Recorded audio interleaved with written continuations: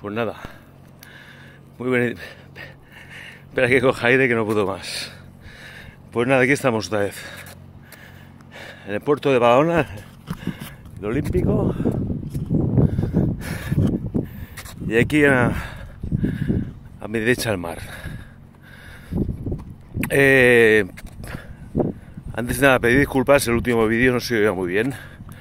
Pero bueno, es la novedad. Como que no he hecho vídeos.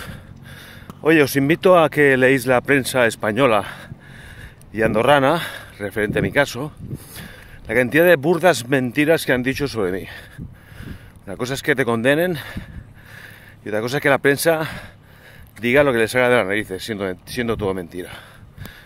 Eh, solo tenéis que poner hombres maltratados de Andorra y ya lo veréis.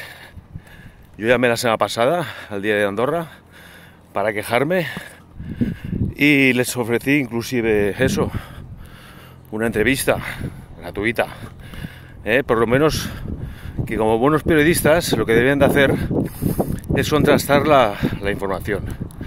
Y si no es veraz, o si no puedes contrastar, no te inventes. No te inventes historias.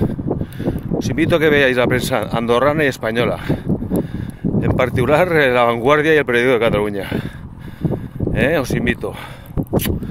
Seguimos viendo. Venga, hasta luego.